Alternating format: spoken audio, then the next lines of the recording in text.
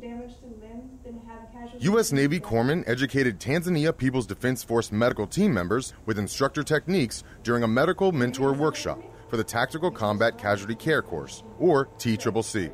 While working with Africa Partnership Station, we will not be here forever. The purpose of our visit is to mentor the trainers so that way the Tanzanian Navy could be self-sufficient in training each other in TCCC rather than relying on the U.S. to come back year after year. This APS training, it fits into a very small niche into a much broader program. It's critical because we're trying to build capacity within the Tanzanian military as we are across Africa.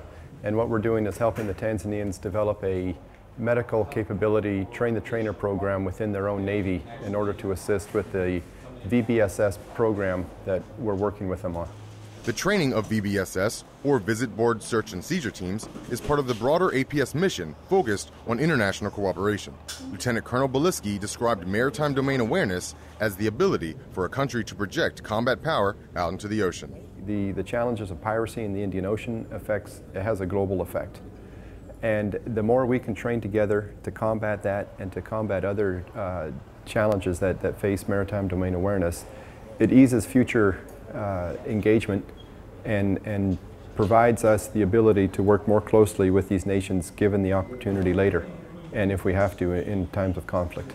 Tanzania, along with other East Africa countries, will be part of the Cutlass Express exercise later this year, aimed at advancing maritime partnerships through training and collaborative activities in order to improve safety and security in the region. Petty Officer Anthony Martinez, Dar es Salaam, Tanzania.